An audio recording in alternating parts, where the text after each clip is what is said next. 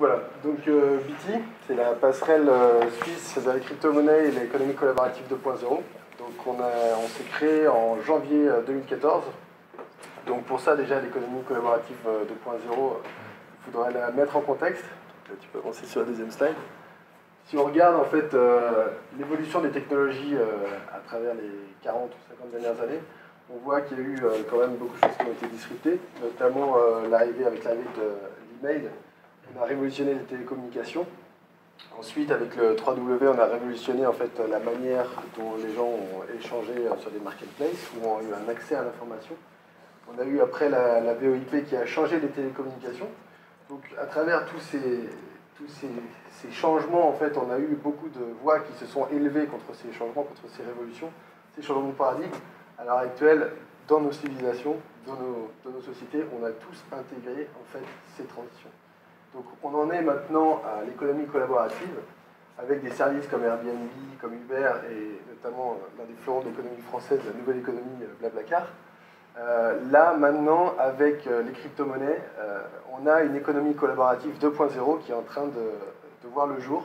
Et c'est notamment grâce à l'arrivée des crypto-monnaies, notamment le Bitcoin, qui est vraiment le, le système, un réseau d'échange de valeurs, et euh, l'Ether qui lui va pouvoir créer en fait des services, des plateformes autonomes, décentralisées et qui vont permettre euh, d'amener en fait des services plus justes, plus équitables pour les gens qui créent des véritables valeurs, en fait, qui créent des services en fait euh, entre utilisateurs et qui permettent de connecter ces utilisateurs entre eux. On voit notamment avec Open Bazaar, je ne sais pas si vous en aviez déjà testé un petit peu, c'est un marketplace à la eBay, mais décentralisé, c'est-à-dire qu'il appartient disponible sur chaque ordinateur. Il est omniprésent, c'est-à-dire que vous pouvez euh, éteindre votre ordinateur, il va vivre, en fait, votre marketplace va continuer à vivre dans le réseau. Donc il y a vraiment un changement de paradigme qui est en train de se passer sur la manière dont on va, on va échanger, sur la manière dont on va communiquer euh, ensemble, notamment sur les systèmes financiers. Et notamment Slowkit, euh, l'un de nos partenaires, qui est en train de créer l'Ethereum Computer, qui va permettre de monétiser des objets connectés et on est très très euh, comment dire, enjoué de, voir en fait le potentiel à venir euh, par rapport à, toutes ces technologies et notamment avec Augure aussi euh, cette marketplace, cette prediction place décentralisée qui elle va amener aussi beaucoup de beaucoup de changements à venir. Donc voilà. Alors les différences, bien sûr, s'il y a beaucoup de bitcoiners dans la salle, vous connaissez un peu les, différences fondamentales entre l'économie traditionnelle et puis euh, cette finance 2.0. Nous, clairement, euh, on est parti de l'idée euh, GBT de se dire que c'était 2 milliards de personnes qui n'avaient pas accès à des outils financiers. Grâce en fait à ces technologies blockchain, on a, on a la possibilité de les inclure en fait dans cette mondialisation. Donc de ramener tout le monde en fait sur un, pied entre guillemets égalitaire sur les accès en fait à un réseau d'échange de valeurs. Et pour nous, ça c'était important. parce qu'on la première fois on a pour la première fois un système de paiement ouvert et accessible à tous, avec des frais qui sont euh, quasiment infimes et à n'importe qui permettent de se connecter en fait sur ce réseau d'échange. Donc ça c'est vraiment formidable. Et puis aussi euh, la chose essentielle aussi euh, pour nous, c'était que les politiques économiques ne soient pas décidées par des États ou par des banques, mais plutôt par les utilisateurs par rapport à l'achat et la vente, ce qui, est, ce qui fait le véritable libre-échange en fait et qui permettent une économie qui soit mondiale. Donc ça, c'était vraiment la, chose essentielle. Et puis bien sûr, les paiements, euh, les transferts euh, instantanés euh, avec le Bitcoin. On voit la rémittance qui est de l'ordre de 500 milliards de dollars chaque année, qui augmente de près de 8% chaque année. Les populations migrantes qui renvoient dans leur pays d'origine de l'argent sont souvent spoliées. Yannick en parlait très bien tout à l'heure avec les 10% de Western Union. Euh, ça baisse progressivement, mais très peu, c'est de 0,2% par an. Euh, donc là, maintenant, avec un système ouvert à tous, on a la possibilité de disrupter ça et de pouvoir communiquer instantanément n'importe où, avec n'importe qui. Donc nous, où est-ce qu'on intervient là-dedans? Oui, ah, voilà. On intervient en fait à travers trois différents services. Le premier, euh, quand on a monté la société en janvier 2014, on a mis le l'un des premiers distributeurs euh, de Bitcoin euh, en Europe. Euh, donc c'est un distributeur qui était OneWay. vous mettiez du cash dedans et vous receviez des Bitcoins. Maintenant, depuis, les technologies ont évolué. On a des, systèmes qui sont cash in et cash out. Donc vous pouvez très bien payer envoyez des bitcoins à la machine, vous recevez du cash en échange. À l'heure actuelle, on en a un à Lausanne, un à Genève et un à Montreux. On est en train d'étendre dans la gare de Zurich le mois prochain. Et puis on va euh, progressivement en fait, intégrer euh, les gares, en fait, les différentes gares de Suisse, et probablement étendre après euh, sur l'international une fois qu'on aura consolidé en fait, ce secteur-là. la deuxième chose, c'est qu'on s'est on s'est rendu compte aussi que l'accessibilité au Bitcoin était quand même problématique.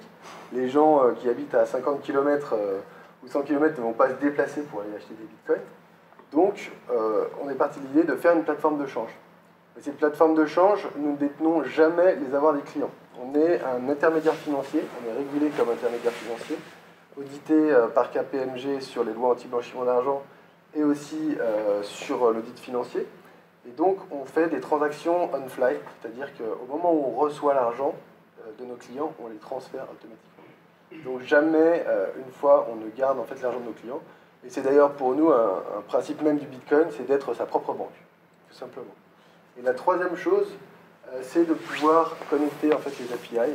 C'est-à-dire que les Bitcoin Wallets vont avoir la possibilité très prochainement de pouvoir intégrer les services de BT et de pouvoir monétiser en fait euh, leurs propres services dans l'application et d'avoir aussi en échange bien sûr des fees qui leur reviennent, c'est-à-dire pour développer leur propre projet, en intégrant euh, les services de BT, ils vont recevoir en fait une commission eux-mêmes, ils prendront une petite commission en fait de 20% de la fees pour, euh, pour les gens qui intègrent les services. Le reste, c'est complètement pour la personne qui développe son application afin qu'elle puisse monétiser, bien sûr, euh, et, peut-être probablement pouvoir euh, grossir si c'est une entreprise ou, ou, même avoir plus de liquidité pour ses développements futurs. Donc tout ça, on était parti à la base sur le Bitcoin, principalement. Après, on a évolué sur Ethereum très vite parce qu'on a vu l'intérêt d'un système on peut créer en fait des services, c'est de la création de services décentralisés. Et donc euh, de là, euh, les DAO tokens, euh, la vente de DAO tokens est apparue naturelle, puisque ça va vraiment dans la lignée de, la création de services. je ne sais pas si certains ont entendu parler de la DAO, d'être la, la, DAO Hub, j'imagine. Il y en a combien dans la salle qui connaissent À peu près? Bon, alors, alors pour ceux qui ceux qui ne connaissent pas, en gros, cette phase de création de la DAO, qu'est-ce que c'est la DAO là, je, pense que tu peux descendre. Voilà, donc on était sur euh, les différentes sortes de revenus, les ventes directes, l'intégration des services et la DAO. C'est Decentralized Autonomous Organization. Pour faire simple, à l'heure actuelle, c'est un véhicule d'investissement qui va permettre d'investir dans des, dans des sociétés par la suite. Ce véhicule d'investissement, ce fonds d'investissement est entièrement sur le blockchain, entièrement auditable et accessible à tous. Quand vous allez investir en fait dans ce programme, ce programme, lui, va vous donner des jetons en échange, comme des participations dans une société ou dans un fonds d'investissement. Vous aurez par la suite la possibilité de voter oui ou non dans un investissement de projet, mais aussi par rapport à des décisions qui seront prises sur ces investissements futurs. Donc c'est une véritable révolution dans le sens où on est en train de changer la manière dont on finance en fait, les sociétés. Les sociétés vont être financées par des programmes directement par les gens qui souhaitent investir dedans. Donc on est vraiment sur une économie collaborative pair à pair. Et là, il y a véritable, un véritable changement qui, s'opère sur la manière euh, dont les, sociétés vont interagir avec les investisseurs. donc voilà, nous, nos avantages, bon, bah, c'est vrai qu'on est l'une des seules plateformes euh, en Suisse, enfin, on est la seule plateforme actuelle en Suisse. Euh, on est dans, une, dans une industrie en fait, qui est très présente, bien sûr, depuis des générations. Il y a énormément, il y a 7, milliards, 7, 7 euh, trillions d'assiettes sous gestion en Suisse. Donc c'est énorme. Euh, l'industrie est très réputée. Euh, on a aussi un cadre juridique aussi sur la, sécurité des, données privées. Donc les, données privées, en fait, c'est très important en Suisse. C'est-à-dire qu'aucun juge étranger ne peut venir chez nous pour nous demander l'accès aux données d'un utilisateur. Donc il y a vraiment une vie privée qui est respectée. Et puis les, partenariats bancaires qu'on crée en fait au fur et à mesure. On a des banques en Suisse, euh, en Allemagne, qui permettent de faire des virements bancaires euh, très rapides. Des fois, c'est de l'ordre de quelques heures. On arrive à, des délais CEPA aussi traditionnels de, 8 heures, 8 euh, heures ouvrées. Mais on arrive quand même à, avoir, suivant la banque, la banque émettrice, hein, on arrive à avoir des délais quand même qui sont très très courts. Et puis on a aussi des systèmes comme SOFORT, qui vous permettent d'envoyer en fait quasiment instantanément l'argent et d'avoir, de recevoir vos bitcoins en moins de 15 minutes par virement bancaire pour les utilisateurs vérifiés. C'est important. Donc la plateforme, elle est bien sûr elle est ouverte, comme je vous disais en fait juste avant, précédemment. Donc les bitcoins, les Ethers, et puis on souhaite vraiment que les autres puissent intégrer, que les entreprises puissent intégrer en fait nos services et puissent monétiser en fait leurs services grâce aux nôtres. Et donc la, dernière chose, c'est la réputation. On a vraiment fait en sorte de faire grossir la plateforme de manière structurée et progressive. Pourquoi? Parce que euh, c'est vrai que la fraude dans le Bitcoin, c'est une réalité. Beaucoup de, fraudeurs, beaucoup de scammers essayent d'utiliser les schémas Bitcoin euh, pour pouvoir convertir et, échanger en fait l'argent qui vient de compte bancaire pour les, sortir en fait sur, sur le réseau Bitcoin. Donc on a un contrôle qui est très drastique en amont, mais qui est invisible pour l'utilisateur. Mais on a réussi à détecter des patterns euh, grâce à l'expérience qu'on a, tissée sur, ces, deux dernières années. Et ça nous permet aussi, bah, d'une part, d'avoir tissé des relations bancaires très solides, mais aussi euh, de, pouvoir présenter aux régulateurs suisses aussi euh, un gage de sécurité, et notamment aussi avec KPMG qui nous audite sur les lois anti-blanchiment d'argent et sur l'audit financier. Donc pour nous, c'était très important, et on est aussi membre du DFCA, la Digital euh, Finance euh, Compliance Association, euh, où ShapeShift, Xapo, Monetas aussi sont dedans. Donc c'est l'association suisse qui parle en fait avec les régulateurs suisses pour pouvoir développer un OAR, un organisme autorégulé qui va directement parler avec les régulateurs pour pouvoir faire avancer en fait l'industrie blockchain ou l'industrie des crypto-monnaies sur, sur le sol suisse et intégrer ça en fait au niveau, au niveau juridique. Et puis bon, la dernière chose, bien sûr, c'est la simplicité.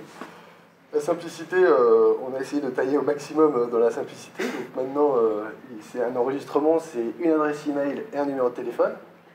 là, je vous fais une annonce qui va apparaître très prochainement.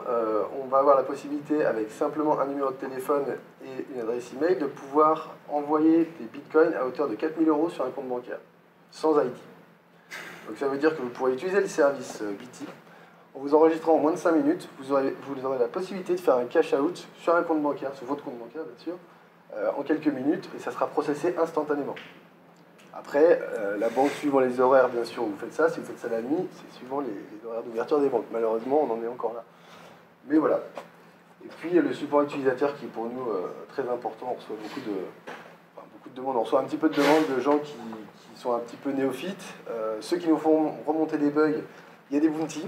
Euh, ça, c'est, on est toujours très friand d'avoir cette interaction-là. Et puis, euh, bah, on évolue toujours dans une, dans, une bonne, euh, dans une bonne ambiance. Donc là, je vais vite fait vous présenter l'équipe. Donc Alexis, Diane, moi-même et Yves, on est les quatre cofondateurs de la société. moi-même m'occupant du développement commercial. On vient d'environnements tous vraiment différents. Diane est plutôt un entrepreneur qui, a, qui fait de l'ingénierie financière il a apporté beaucoup de, structures euh, financières en fait, à, l'entreprise. Alexis, lui, avait un background de juriste euh, à la base, travaillant aux Nations Unies, mais qui est invité très souvent en fait, dans les débats publics euh, à la télévision, notamment en Suisse, par rapport à l'identité numérique, le, droit à l'identité numérique, qui se clame haut et fort depuis, depuis pas mal d'années.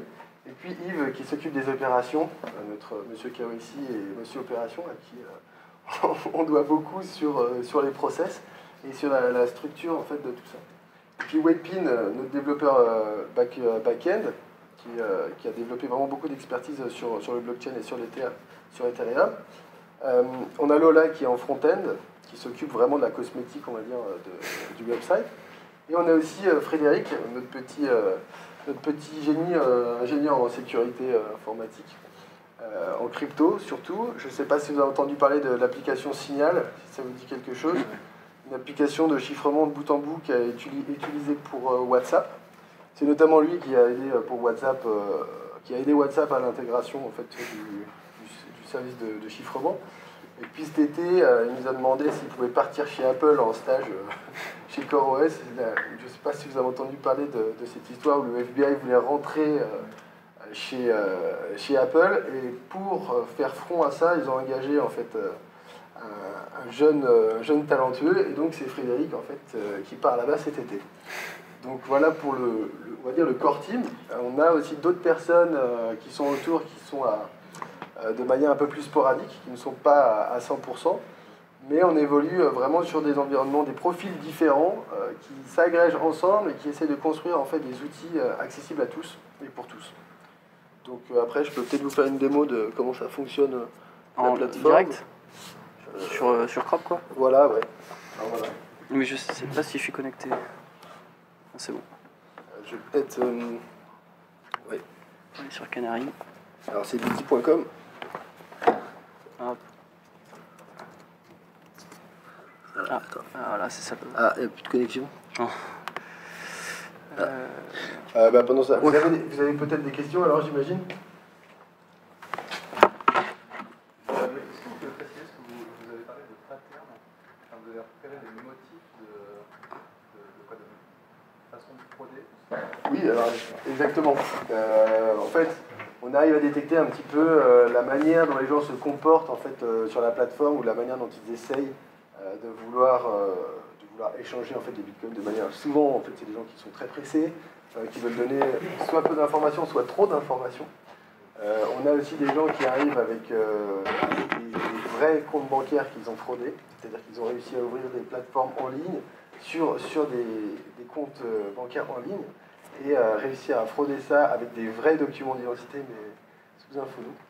Donc on a euh, vraiment euh, pas mal de, gens différents et pour ça en fait on a développé des techniques en interne qui nous permettent d'avoir un petit peu euh, des warnings en fait sur ce type de profil. Et du coup en fait on limite la fraude au maximum, on a un pourcentage de fraude qui est, très faible parce qu'on a justement voulu grossir de manière structurée pour faire attention à ça, sachant que la fraude dans la conversion, quand, vous êtes plateforme de, change, euh, ça peut vite faire mal sur, sur votre revenu, donc, euh, donc il fallait vraiment faire attention à ça. Et on va intégrer d'ailleurs très prochainement, dans les deux prochains mois, la carte de crédit euh, pour nos utilisateurs vérifiés afin qu'ils puissent instantanément acheter des Ethers, des Bitcoins et des DAO tokens qui vont suivre. Il y a d'autres questions? Je peux faire, tu... Concernant les Ethers que fabriquer, vous les laissez en, libre, accès, comme ça ou euh, j'entendais qu'ils étaient euh, mis dans des gares, et, enfin les distributeurs les posaient comme ça dans la gare Oui, alors, euh, oui, alors on ne fabrique pas les ATM. Les ATM, on a un partenariat avec BitAccess qui nous fournit les ATM et avec qui on développe depuis deux ans, deux ans et demi de solides relations et on les aide dans leur développement. Et vice-versa. C'est-à-dire qu'on a vraiment une, une symbiose, une approche euh, très forte ensemble dans notre développement. Euh, c'est dans des restaurants, à l'heure actuelle c'est dans des restaurants, là c'est dans une gare, dans un bureau de change, c'est en train d'arriver. Après on pourrait les mettre euh, dans des gares en tant que telles. au niveau des assurances, on explose les coûts. Clairement, c'est des coûts qui, partent, enfin il n'y a plus lieu d'être. Donc là on reste pour le moment sur du traditionnel, sur l'ouverture de 9h à 19h, voire là sur, euh, sur celui de Zurich, ça sera 23 heures. Euh, mais euh, bon, les gens s'adaptent déjà dans un premier temps, et puis une fois qu'il y aura suffisamment de...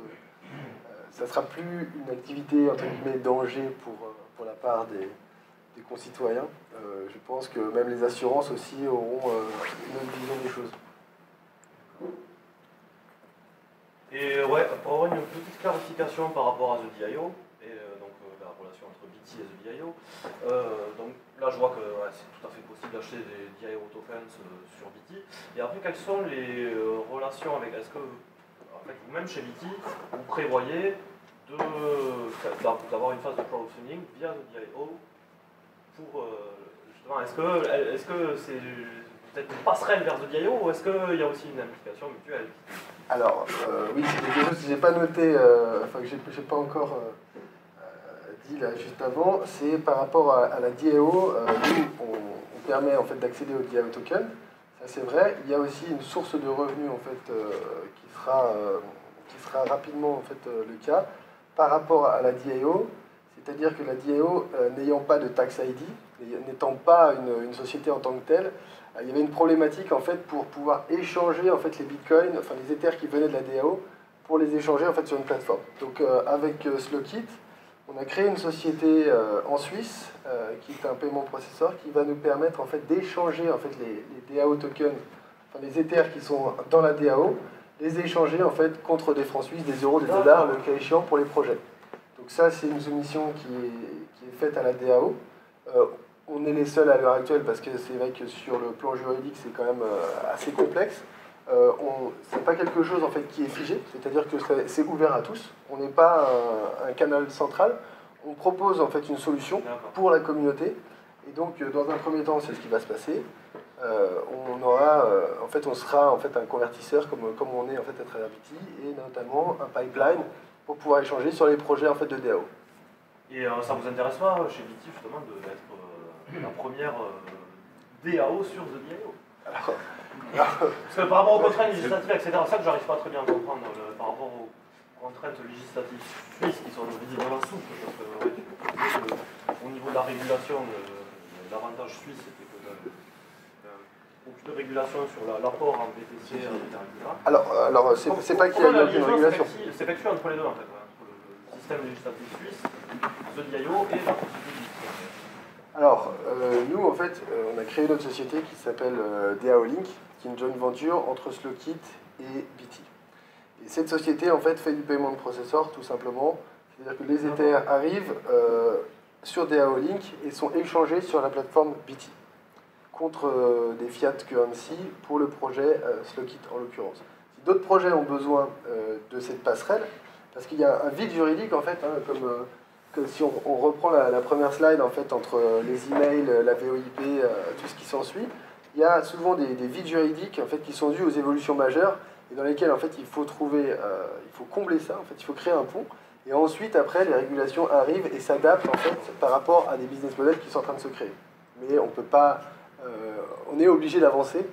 Donc en fait on trouve des solutions et puis après on regarde comment ça. En tout cas au niveau de la loi suisse, on est, ça ne peut pas se ça ne peut pas s'arrêter du jour au lendemain. C'est pas possible. Il devrait y avoir une loi qui statuera ou pas, euh, mais normalement, euh, on ne devrait pas avoir de, de soucis là-dessus. Encore d'autres questions? Non? Mais euh, à moins que tu voulais présenter euh, une utilisation live euh, rapidement parce Ah que ouais, je peux le juste envoyer. Ah, je vais convertir alors des. Je vais convertir des, des bitcoins. Ah, ah oui, c'est clavier français. Ouh là là. J'avais oublié comment c'était. Aïe aïe aïe. c'est là. l'arme. Ah oui, d'accord. ok. Ah, c'est dur. J'ai plus l'habitude. sur, le, sur le mot de passe, ça peut être facile. Ah, si, si. Alors. Attends, faut que je regarde ça. Ok, d'accord. Ah, d'accord. Ah, ça va être compliqué. Ok, bon, je vais le faire à partir de mon ordinateur aux, aux gens qui voudront regarder, mais parce que la, la problématique avec le clavier français, ça va être, euh, ça va être compliqué. Ok. Non, tant pis. Je vous montrerai sur mon ordinateur à peu. Bon, ben, bien, merci euh, Romain, je pense qu'on peut, peut l'applaudir.